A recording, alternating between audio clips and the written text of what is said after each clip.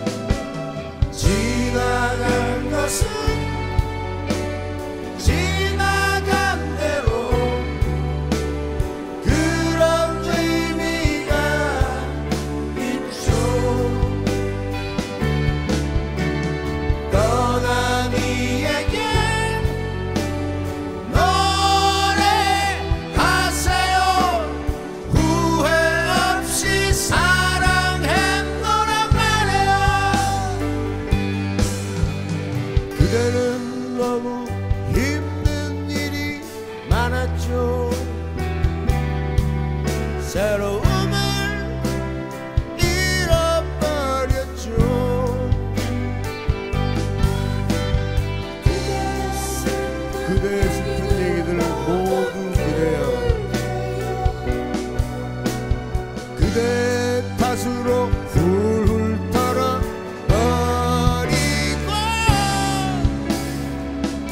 젊었을 때도 굉장히 좋았어요. 음악의 그, 그 어려움 속에서도 할 수가 있었던 거는 음악이 너무 좋았기 때문에. 근데 요새 역시 보니까 어떤 것보다 좋은 게 음악이더라고요. 우리 보고 뭐 레전드다 뭐 그런 얘기들을 하는데 옛날에도 우리 음악 앞에서 진짜 소년이었고 음악을 좋아하는.